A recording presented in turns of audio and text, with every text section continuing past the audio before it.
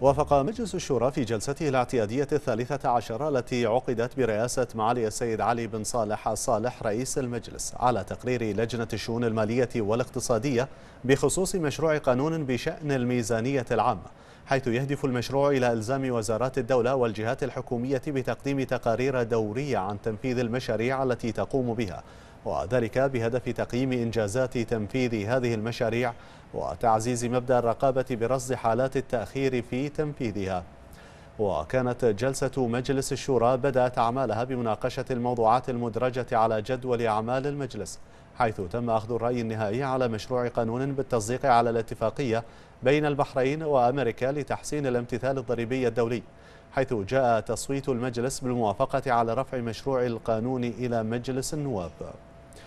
كما وافق مجلس الشورى على الاقتراح بقانون بشأن تشجيع وحماية الاستثمار وإحالته إلى الحكومة وذلك لصوغه كمشروع قانون وإحالته للسلطة التشريعية.